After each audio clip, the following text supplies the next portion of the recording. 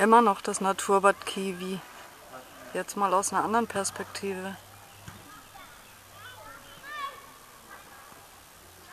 Sieht wirklich schön aus.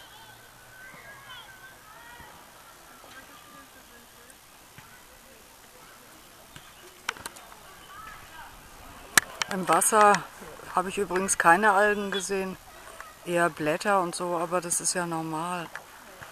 So, jetzt muss ich auch wieder ausmachen, weil da gleich jemand ins Bild kommt.